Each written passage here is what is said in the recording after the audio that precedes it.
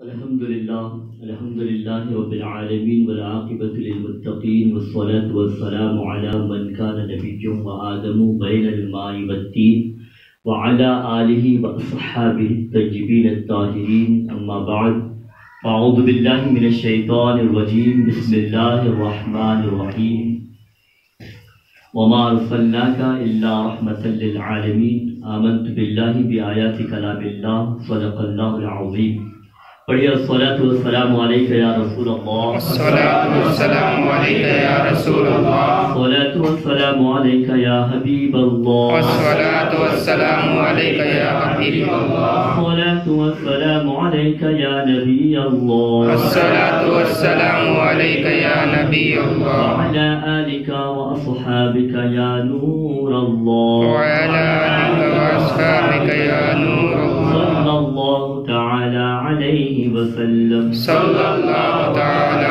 अलैहि वसल्लम मौत आज़म बनी बेसरो सामा मददी क़िबला दीन मददी काबे ईमाम मददी बगरदाब बलाफ्ताद कश्ती ज़ईफ़ानो शकिस्त रात कुश्ती बहक़ ख्वाजा उस्मान हारून मदद कुन मदद कुन मदद कुन या मुईनुद्दीन चिश्ती मदद कुन या कुतुबुद्दीन चिश्ती मदद कुन या निज़ामुद्दीन चिश्ती मदद कुन या नसीरुद्दीन चिश्ती।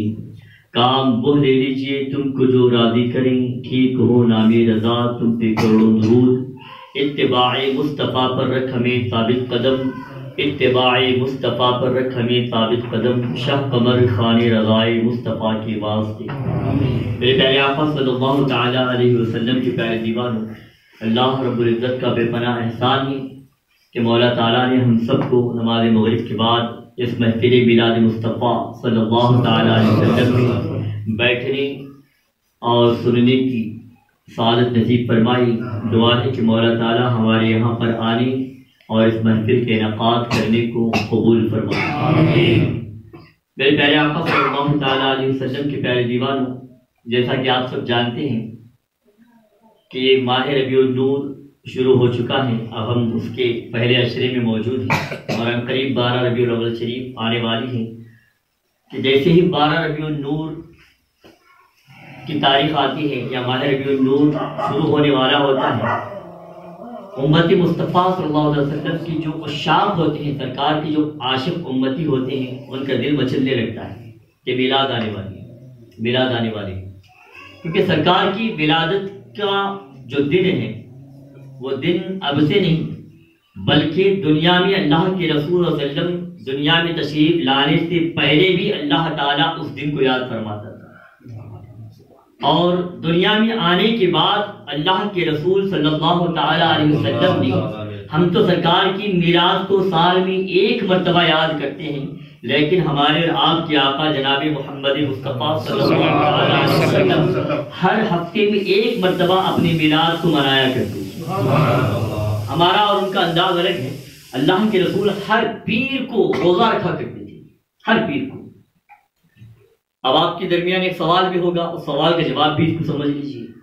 बहुत सारे जैसे ही माह रबीउल आता है मिलाद का महीना आता है तो बहुत सारे कब्बे जो यहाँ वहाँ छुपे बैठे रहते वो पूरे कहाँ है कहाँ कहाँ करने लगते है मिलाद बनाना कहाँ लिखा है कहाँ लिखा है कहाँ लिखा है? बस इतना कह दो अल्लाह के रसूल सल्लल्लाहु अलैहि वसल्लम हर पीर को रोजा रखा करते थे। हर पीर को। तो सहाबा ने अर्ज़ किया कि या रसूलुल्लाह सल्लल्लाहु अलैहि वसल्लम आप हर पीर को रोजा क्यों रखते हैं?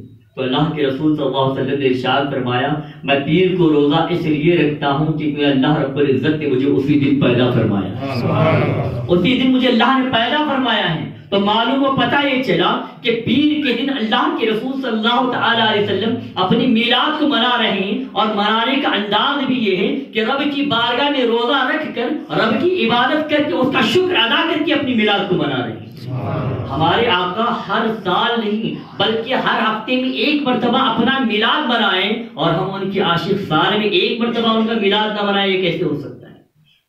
है कि नहीं? अब सवाल किताब, ये तो हदीस की बात थी। मैंने हदीस से आपको बताया है कि मिलाद बनाना ये सुन्नत मुस्तफ़ा है। किसकी सुन्नत है? बोले किसकी सुन्नत है? सुन्नत मुस्तफ़ा है। और मिलाद की बरकतें इतनी हैं, इतनी बरकतें हैं, बेशुमार इसकी बरकतें हैं कि हमारे असलाफ ने, हमारे बुजुर्गान दीन ने सबने मिलाद को मनाया है। और सब मिलाद की बरकतों को अलग अलग अपने अपने अंदाज से बयान करते हैं कि किसकी यहाँ पे क्या होता था किसकी यहाँ पे क्या होता था और मिलाद की महफिल में क्या होता था। कुछ तो बुजुर्गान दीन ऐसे अकीदतमंद और ऐसे उशाक थे ऐसे गुलाम थे अल्लाह के रसूल की कि वो अपने घरों में महफिल मिलाद को सजाते थी और वहाँ पे सरकार का दीदार उन्हें नसीब हो जाता था। इसकी अजीम बरकतें बेशुमार बरकतें। और मिलाद हम क्यों ना मनाएँ? मिलाद क्यों ना मनाएँ? अल्लाह रब्बुल इज़्ज़त कुरान मुकद्दस में इरशाद फरमाता है लक़द रसूला मफहूम आयत है तहकीक के हमने तुम में वो रसूल भेजा तहकीक के हमने तुम में वो रसूल भेजा और जो अल्लाह ताला का तुम पर बड़ा एहसान है ये आयत शरीफ का मफहूम बता रहा हूँ मैं आपको क्या फरमाया अल्लाह ताला ने जो रसूल हमने तुम्हारे दरमियान तुम में से जो रसूल भेजा है यानी हमने महबूब मोहम्मद अरबी वसल्लम को तुम्हारे दरमियान भेजा। ये अल्लाह ताला के तुम पर बड़ा एहसान है। बड़ा एहसान है। अब अल्लाह ताला के कितने एहसान है? बंदों पर, हम सब पर कितने एहसान है? कोई बता सकता है गिन के? नहीं बता सकता। क्योंकि अल्लाह ताला की नियामतें इतनी हैं, खुद रब कायनात कुरान मुकद्दस में इशार फरमाता है कि अगर तुम अल्लाह ताला की नियामतों को शुमार करना चाहो, गिनना चाहो, उसकी गिनती करना चाहो, उसकी काउंटिंग करना चाहो तो नहीं कर पाओगे। इतनी नियामत है अल्लाह ताला की। तो जितनी नेमतें उतना एहसान है हमारे रब का। लेकिन अल्लाह ताला ने जितनी नेमतें हम पर नाजिल फरमाई हैं, उस नेमतों को अल्लाह ताला ने ये नहीं फरमाया कि ये फला नेमत मैंने दी तो तुम पे एहसान किया।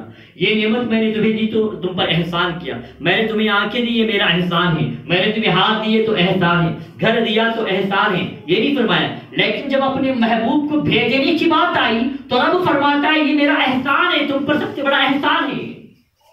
अब कितना बड़ा एहसान? इतना बड़ा एहसान है कि एहसान हमसे पहले किसी उम्मत पर नहीं हुआ। किसी उम्मत पर नहीं हुआ। क्यों?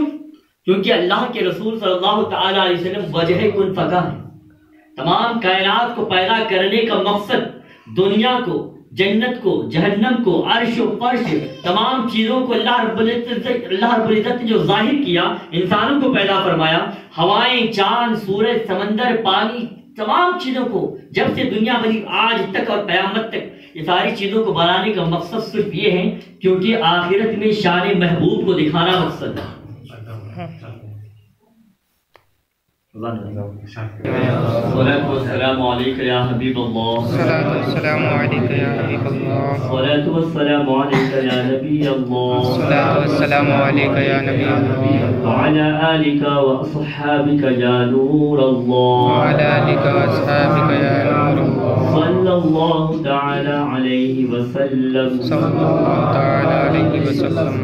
मेरे प्यारे आका सल्लल्लाहु अलैहि वसल्लम की प्यारी दीवार तो मैं अर्ज ये कर रहा था कि अल्लाह रब्बुल इज़्ज़त ने नबी करीम वसल्लम को पैदा फरमाया और सरकार के सदक़े में तमाम कायनात को पैदा फरमाया। और जब हज़रत सैदना आदम सलाम तीन सौ साल से जायद वक्त तक अल्लाह ताला की बारगाह में तोबा इस्तगफार करते रहे, जब उनकी तोबा कबूल नहीं हुई तो हज़रत आदम सलाम ने रब की बारगाह में एक वसीला पेश किया। हज़रत आदम ने अल्लाह ताला की बारगाह में अर्ज़ किया कि मौला, तुझे उस नाम मुबारक का वास्ता, जिस नाम को मैंने तेरे नाम के साथ जन्नत के दरवाजों पे देखा था, जिस नाम को मैंने तेरे नाम के साथ जन्नत के दरवाजों पे देखा था, वो नाम नाम मोहम्मद है। तो रब की बारगाह हुक्म हुआ, मन मोहम्मद आदम, वो मोहम्मद कौन है? क्या तू जानता है? तो सलाम ने अर्ज़ किया। मौला मैं ये नहीं जानता कि मोहम्मद कौन है लेकिन मैं इतना ज़रूर जानता हूँ जो भी होगा बहुत अहम होगा तभी तो तेरे नाम के साथ उसका नाम लिखा हुआ था। मैं उस नाम का वास्ता देता हूँ मौला तो मेरी तौबा को कबूल फरमाए। तो अल्लाह रब्बुल इज़्ज़त उस वक्त हज़रत आदम सलाम की तौबा को, नाम मोहम्मद की बरकतों से, नाम मोहम्मद के वसीले से हज़रत आदम सलाम की तौबा को कबूल फरमा लेता है और अल्लाह ताला हुक्म फरमाता है ए आदम, अगर उस मोहम्मद को पैदा करना मकसद ना होता तो ना मैं तुझे बनाता ना ही कायनात को पैदा फरमाता। ये मोहम्मद अरबी की शान है। तो मालूम को पता ये चला कि जो भी हमें मिला है, वो सब कुछ हमारे आका के सदके में हमें मिला है।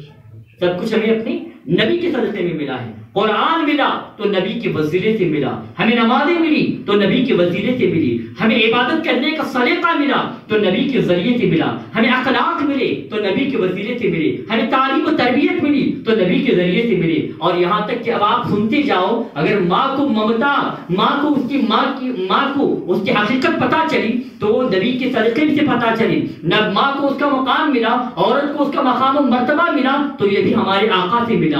क्योंकि अल्लाह के रसूल दुनिया में तशरीफ़ लाने से पहले हालात क्या थे दुनिया की? औरत की कोई कदर नहीं थी। औरत को बस एक खिलौना समझा जाता था। औरत को एक इस्तेमाल की चीज़ समझी जाती थी। बस अपना काम हो गया, खत्म कर दो। किसी का शोहर खत्म हो गया तो उसके साथ उसको भी खत्म कर दो। उसके साथ उसको भी जला दिया जाए, यह औरत का मामला था। खूब भाई भाई खून का पैसा होता था। कबीले कबीले वाले आपस में लड़ा करते थे। इतनी लंबी दुश्मनी चलती थी कि नसरें गुजर जाती, पोते पढ़ पोते आते, तभी भी वो दुश्मनी जारी रहती। जुआ आम था, शराब आम था जिना आम था, बदकारी आम थी। तमाम तमाम तर गुनाहों से दुनिया में अंधेरा छाया हुआ था। रोशनी तो ज़ाहिर थी, मगर गुनाहों का अंधेरा चारों ओर नज़र आता। लेकिन जब वो नूर मोहम्मदी का जहूर दुनिया में हुआ तो तारीख का सारा अंधेरा दूर हो गया, चारों आलम में रोशनी छा गई। इसीलिए तो सरकार आल हज़रत इमाम अहमद रखा फाजले बरेली फरमाते हैं आराम फरमाते हैं कि ते सुबह तैबा में भी बटता है बाड़ा नूर का सदका लेने नूर का आया है तारा नूर का। और या रसूल अल्लाह तू है आयने नूर तेरा सब घराना नूर का। सरकार आला हज़रत ने ये कसीदे नूर लिखा है इसमें फरमाया कि आपका नूर कहाँ कहाँ तो सरकार के आने से पहले दुनिया की कोई हकीकत नहीं थी। दुनिया तो जुल्म सितम पे चल रही थी। जालिमन का जुल्म और पर था। ऊंचाई पर था उरूज पर था और मजलूम की आहें निकलती थी। बच्चियों का क्या मामला था? जब एक पहाड़ी पर थी, बाप के किसी के घर जब बच्ची पैदा होती तो उस बच्ची को बाप अपने हाथों से ले जाके फेंक देता था या किसी जगह ले जाकर ज़िंदा दफन कर दिया जाता था। वो बच्ची की आहें निकलती थी। आज भी आप अंदाज़ा लगाए, छोटी सी बच्ची जब रोती है तो उसका हाल क्या होता है? अगर जरा सी वजह से भी ठसका लग जाए, या तो मच्छर काटने पर भी वो जाग जाती, माँ का दिल बेचैन हो जाता है और बाप भी बेकरार हो जाता है। मैं आपको अपनी बात बता रहा हूँ। मैंने अकबर भाई थी हज़रत जो माजरत चाली थी कि नहीं आऊँगा, क्योंकि आज तो ऐसा हो कि घर पे मेरी बच्ची की भी तबीयत खराब होगी। छोटी सी बच्ची, है ना? तबीयत खराब होगी। मैं परेशान, अभी भी मुझे वहाँ का ख्याल आ रहा है। तो ये हमारा मामला आज का है, लेकिन उस दौर का पत्थर दिल इंसान थी। बाप अपने हाथों से बच्ची को ले जाके दफन करता था तो अंदाज़ा लगाओ, आज हम अपनी बच्ची को ठंडी हवा लगने नहीं देती, मच्छर काटने नहीं देते, लेकिन वो कैसे बाप थे जिन्होंने अपनी हज़ारों लाखों बच्चियों को अपने हाथों से ज़िंदा दफन कर दिया। तो औरत का मकाम मरतबा कुछ नहीं था। बच्ची और औरत को मरहूस समझा जाता था। लेकिन मुस्तफ़ा करीम क्या दुनिया में तशरीफ़ लाए कि अल्लाह के रसूल ने माँ के कदमों में जन्नत को ले दिया। अब जन्नत चाहते हो तो माँ की खिदमत करो और माँ की खिदमत करोगे तो उसके कदमों में तुम्हें जन्नत मिल जाए तो ये मकाम मरतबा किसने दिया? ये मोहम्मद अरबी ने दिया है। मोहम्मद अरबी का एहसान सिर्फ़ मुसलमानों पर नहीं है। दुनिया के हर इंसान पर जो पैदा हुए हैं अब तक और जो कयामत तक होने वाले हैं उन सब पर मोहम्मद अरबी का एहसान है। तो हम उनका मिलाद क्यों ना मनाएँ? माँ को ममता मिली तो मोहम्मद अरबी की सदके मिली। बाप को उसका मकाम मर्तबा मिला तो ये मोहम्मद अरबी की सदके मिला। भाई भाई, दोस्त, दुश्मन दुश्मन, दोस्त बन गए, ये मोहम्मद अरबी की सदके में हुआ। और दुनिया के तमाम बुराइयों का खात्मा करने वाले वो मोहम्मद अरबी कोई और नहीं। आज हर मज़हब में शराब पीना जायज़ है। शराब की तबाहकारियाँ हर मज़हब वाला जानता है, लेकिन रोकने की ताकत किसी में नहीं। रोकने की ताकत किसी में नहीं। लेकिन अल्लाह के रसूल दुनिया में तशरीफ़ लाए तो शराब पर मोहर लगा दी। शराब पीना हराम हो गया। शराब पीना हराम हो गया। जुआ खेलना हराम कर दिया गया। तो ये तमाम बुराइयों को किसने रोका है? आज पूरी दुनिया में ह्यूमन राइट्स की बात की जाती है। इंसानों के हकूक की बात की जाती है। जानवर मर जाता है तो उनके हकूक की बात की जाती है। है कि नहीं? किया जाता है। लेकिन किसी जगह पे किसी इंसान को रास्ते पे कत्ल कर दिया जाए, एक भीड़ जमा होकर कत्ल कर देती, उसे कोई नहीं पूछता। मज़हब के नाम पे निशाना बना दिया जाता है। लेकिन या कुर्बान जाओ, अल्लाह के रसूल दुनिया में तशरीफ़ लाए, चाहे मुसलमान हो, चाहे यहूदी हो नजरानी हो मुशरिक हो, कोई भी हो, अल्लाह के रसूल ने उसका हर एक का हक का पास रखा है, हर एक हर एक के हुकूक का लिहाज रखा है, और हर एक के हुकूक को दिलाने की कोशिश जिसने की और दिलाया है तो मोहम्मद अरबी की दात ने की अल्लाह के रसूल ने किया। जानवर अपना फैसला अपना मामला पेश करने के लिए अल्लाह के रसूल के पास क्यों? मैंने यही आयत तो आपके सामने तिलावत की थी, वमा मफहूम आयत है। और महबूब हमने आपको सारे जहान के लिए रहमत बना के भेजा। वो अल्लाह के रसूल रहमत सारी कायनात के लिए बन जाए और उसका मिलाद ना मनाए, ये कैसे हो सकता है? रहमत क्या है? आज एक माँ जो अपने बच्चे को दूध पिला रही है तो ये भी अल्लाह की रहमत है। अगर अल्लाह की रहमत ना होती तो माँ अपनी बच्ची को दूध ना पिलाती बाप अपने सुकून को छोड़कर, अपने सुकून को तबाह बर्बाद करके, दिन और रात एक करके जो कमाता है, अपने बच्चों को खिलाता है तो ये भी अल्लाह की रहमत है। जानवर अपने बच्चों की परवरिश करते हैं, परिंदे अपने बच्चों की परवरिश करते हैं माँ बाप अपने बच्चों की परवरिश करते हैं भाई भाई का ख्याल करता है दोस्त दोस्त का ख्याल करता है, शौहर बीवी बच्चों का ख्याल करता है, बीवी अपने शौहर और बच्चों का ख्याल करती है तो ये सब अल्लाह की रहमत है। ये सब अल्लाह की रहमत है। और अल्लाह फरमाता है अय महबूब, हमने आपको सारी जहान के लिए रहमत बना के भेजा है। सारी जहान के लिए रहमत। वो रहमत ना होती तो कुछ भी ना होता। वो रहमत ना होती तो कुछ भी ना होता। तो इसीलिए क्या खूब फरमाया है इमाम ने वो जो न थे तो कुछ भी न था। वो जो न थे तो कुछ भी न था। वो जो न हो तो कुछ भी ना हो। जान है वो जहान की और जान है तो जहान की। जान है हो जाए। बच्चा बड़ा हो गया कमाई नहीं करता है। और कभी बाप या माँ नौजवान बेटे के आगे अपनी दिल के हाल को बयान कर दें कि मैंने बचपन से तुझे इस तरह पाला, इतनी मेहनतें की, इतना खर्च किया, इतनी तकलीफें बर्दाश्त की रात में जो है तू पेशाब कर देता था बिस्तर पे गीले पल पे मैज हो जाती है, सूखे पल पे तुझे सूखी जगह पे तुझे सुला लेती माँ कहती हाँ? और बाप कहता है कि इतनी मैंने रात की ठंडी नहीं देखी, दिन की गर्मी नहीं देखी, बारिश नहीं देखा, जंगलों बयाबान नहीं देखा, मैंने मेहनत मजदूरी करके कमाया, तुझे पढ़ाया, और तुझसे तम उम्मीदें रखी कि तू बड़ा होकर पढ़ लिख के कुछ बनेगा, लेकिन उस तो आवारा गर्दी करने लग गया। तू टेढ़ी राह पे निकल गया, गलत रास्ते पे चल रहा है। जब माँ बाप अपनी आँखों से आँसू निकालेंगे तो बेटे का दिल भी जो है ना पिघल जाता है। कि हाय, मेरे माँ बाप ने तो मेरे लिए इतना कुछ किया, आज मैं इस बोर्ड पर हूँ। तो बेटा भी उसके आंसुओं की लाज, बोलिए, रख लेता है, सीधी राह पे आ जाता है। अगर बीवी को कुछ चीज़ चाहिए थी, आज जेवरात हो या कपड़े हो, फला की शादी है फलां जाना है, नए कपड़े नहीं है, बीवी नाराज़ हो गई या रोने लगी, फला की शौहर ने उसको ये दिलाया है, फला, और तो भी ये बात होती है ना, फला की शौहर ने ये दिलाया है, ये दिलाया फला चीज़ आज तो निज़ाम शायद कम हो गया क्योंकि खुद ही जो है मोबाइल से ऑर्डर करें घर पे सामान आ जाते बोले पैसे निकालो देना है। ये चीज़ हो गई इंटरनेट का ज़माना है। अब वो दिलाओ का चला गया अभी खुद ऑर्डर करेंगे घर पे सामान आ जाएगा है? ये चीज़ें। लेकिन ऐसा होता है कि ये चाहिए अगर आपके पैसे नहीं है उससे से चलेगा मेरे पास पैसे नहीं है तो फिर नाराज़ हो जाएगी शाम में घर पे आओ तो बात ही नहीं करेंगे। ये उसूल है दुनिया का बात ही नहीं है। फिर आप उसकी नाराज़गी को या उसकी आंसुओं की लाज रख लेंगे। चलो यार छोड़ो। कई कर्जा तो भी किए करके उसकी तमन्ना को पूरा करेंगे ना? बोलो, करते हैं ना? करते हैं, किए भी होंगे। तो बताने का मकसद ये, हर इंसान ने, हर इंसान की आंसुओं की कद्र की है, आंसुओं की लाज रखी है। लेकिन क्या आपने कभी मुस्तफ़ा जाने रहमत की आंसुओं की लाज रखी है? क्या आपने कभी अल्लाह के रसूल की आंसुओं को महसूस किया है? क्या आपने तारीख में पढ़ा है कि मुस्तफ़ा जाने रहमत ने हम गुनहगारों के लिए कितना रोया है? हमने कभी ये कोशिश भी नहीं की होगी।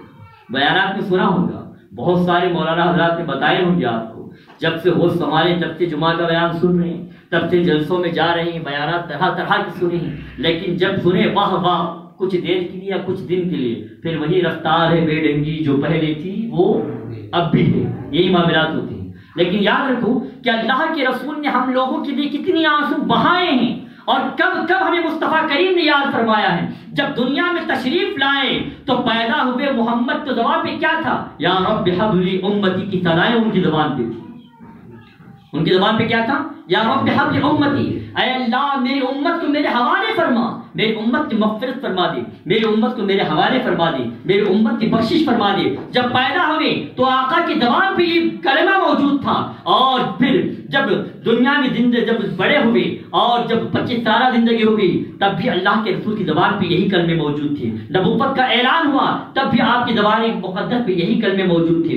नमाज़ की हालत में, सजदे की हालत में, दुआओं में, रात के अंधेरे में, दिन के उजालों में गारे हिरा में हो गारे सूर में हो जंगलों बयाबान में हो हर मकाम पे अल्लाह के रसूल ने अपनी उम्मत को याद फरमाया और यूरोप की बारगाह में अर्ज़ करते थे, या रब हबली उम्मती, या रब हबली उम्मती अल्लाह, मेरी उम्मत को मेरे हवाले फरमा दे, मेरी उम्मत की मगफिरत फरमा दे, मेरी उम्मत की बख्शिश फरमा दे, मेरी उम्मत को जहन्नम से नजात का परवान आता फरमा दे। वो इतना रोया करते थे, अल्लाह के रसूल इतना रोते थे कि आपकी रेश मुबारक, आपकी दाढ़ी मुकद्दस भीग जाती थी, आपकी रेश मुबारक के आंसुओं के कतरे गिर जाया करते थे। अल्लाह के रसूल ने इतना रोया है। किसके लिए रोया है। अपनी औलाद के लिए नहीं रोए हैं। अपने अहल अयाल के लिए नहीं रोए हैं, बल्कि हम गुनहगार उम्मतियों के लिए। क्योंकि वो जानते थे, वो तो गैबदा नबी थे। उनके आगे अल्लाह ताला ने सारी कायनात को ऐसे पेश कर दिया था। जैसा अल्लाह के रसूल पूरी कायनात को ऐसा देखते थे, जैसा अपनी हाथ की हथेली को देखा करते थे। वो उनकी आँखों के, उनके देखने का आलम था। तो इसलिए अल्लाह के रसूल सारी कायनात कयामत तक आने वाले उम्मत के अहवाल को अल्लाह के रसूल के आगे पेश कर दिया गया था कि उनकी उम्मती कैसे कैसी होंगी, कौन कितना नेक होगा, कौन कितना गुनहगार होगा। और आज भी ये आलम है, जब जुमेरात और जुमा का दिन, जब पीर का दिन आता है तो अल्लाह के रसूल की बारगाह में उनकी उम्मत के अमाल को पेश किए जाते हैं। सरकार देखते हैं कि किस उम्मती ने क्या किया है, किस उम्मती की कैसे आवाज़ हैं। कि तो बताओ, जब हमारे अच्छे अमाल को अल्लाह के रसूल की बारगाह में पेश किया जाता है आज भी तो सरकार खुश होती होंगी। लेकिन जब हमारे गुनाहों को उनके आगे पेश किया होगा तो बताओ अल्लाह के रसूल पर क्या गुजरता होगा? तो कुरान फरमाता है, लक़द जाअकुम रसूलुम मिन अनफुसिकुम मा अलैकुम बिल मुमिनीन रऊफुर रहीम।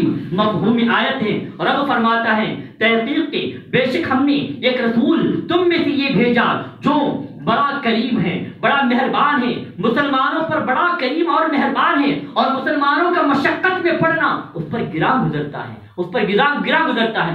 किस तरह गिरा गुजरता है? आप जानना चाहते हैं एक छोटा बच्चा इस आयत के ताल्लुक से मुफसरीन इकराम इसकी तस्वीर फरमाते हैं कि अल्लाह के रसूल का उम्मत का एक छोटा सा चीर खार बच्चा दूध पीने वाला बच्चा या बच्ची जब ठोकर लाके ठोकर लग कर जब गिर जाती है तो बताओ सबसे पहले बेचैन बेकरार कौन होती? है माँ होती है कि बाप होता है।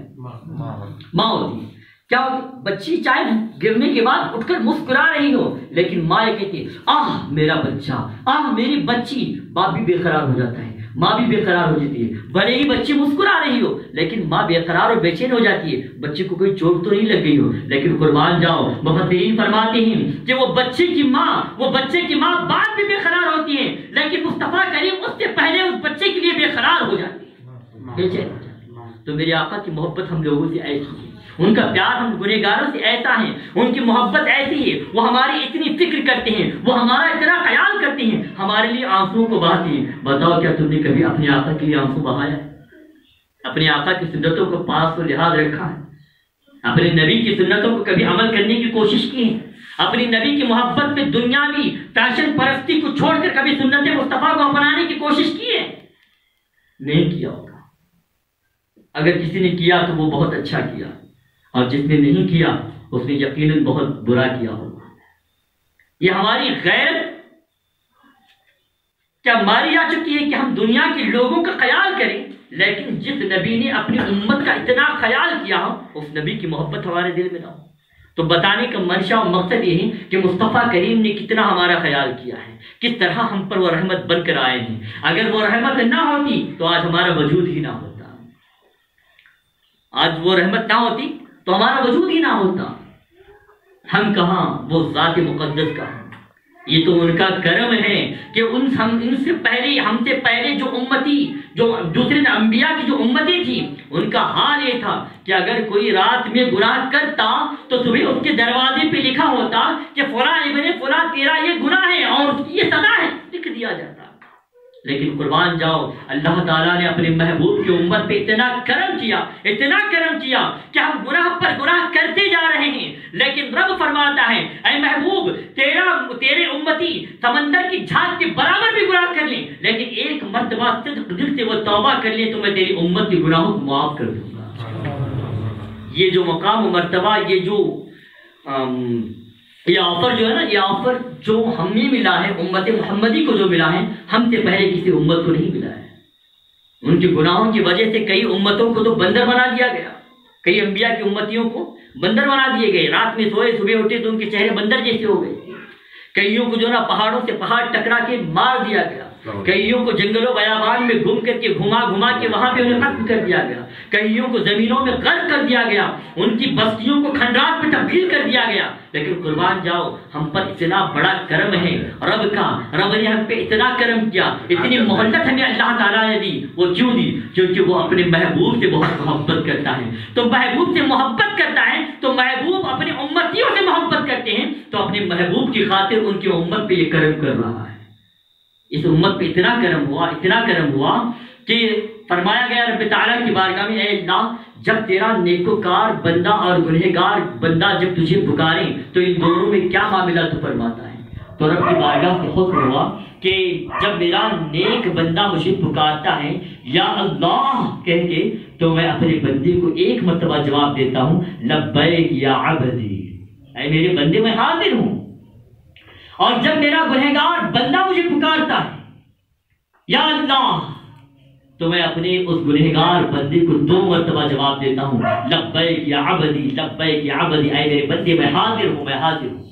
तो और किया गया। अरे मौला, नेक बंदा पुकारे तो एक मरतबा जवाब और गुनहगार पुकारे तो दो मरतबा जवाब। मामला क्या है? तो बात समझ में नहीं नहीं आई तो रब फरमाता है कि इसलिए कि मेरे गुनेक बंदा जब मुझे पुकारता है तो उसे उसकी नेकियों पर भी भरोसा होगा। लेकिन जब मेरा गुनहगार मुझे गुनहगार बंदा पुकारता है तो उसकी उम्मीदें सारे मुझसे है। उसे मुझ के मेरे अलावा किसी और चीज़ पे भरोसा नहीं है। तो इसलिए मैं अपने गुनहगार बंदे की आवाज़ पर, उसकी सदा पर मैं उसे दो मरतबा जवाब इनायत करवाता हूँ। यहाँ पर अल्लाह ताला का एहसान है। और ये एहसान क्यों हुआ? ये मुस्तफ़ा करीम सल्लल्लाहु अलैहि वसल्लम की सदक़े में हुआ।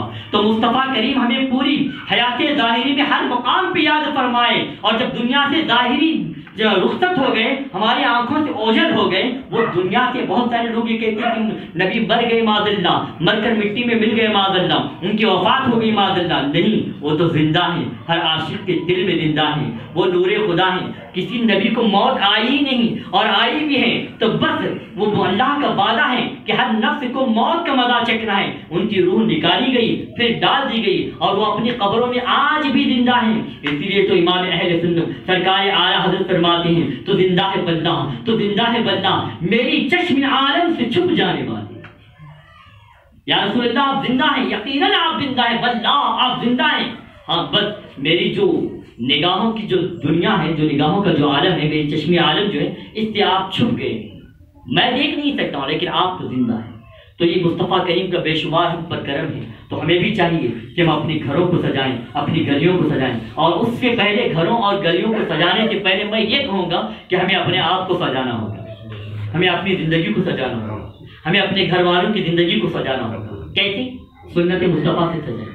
जिनके चेहरों पर दाढ़ी नहीं, वो चेहरे को दाढ़ी से सजा दीजिए।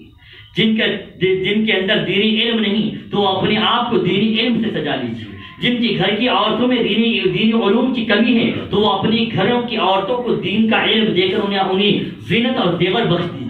याद रखिए, आप दुनिया में देवर जितना भी दिलाओ, वो देवर आपको उतना इज़्ज़त नहीं दिलाएगी। जो इल्म दीन की जो देवर हैं, जब वो आप अपने घर वालों को देगी वो इल्म दीन की देवर आपका मर्तबा इतना बुलंद फरमाएगी कि आप जहाँ जाएँगे, वहाँ पे आपको इज़्ज़त से नवाजा जाएगा। एग्ज़ाम्पल आप खुद दे लीजिए हमारी औकात क्या है? हम कौन हैं?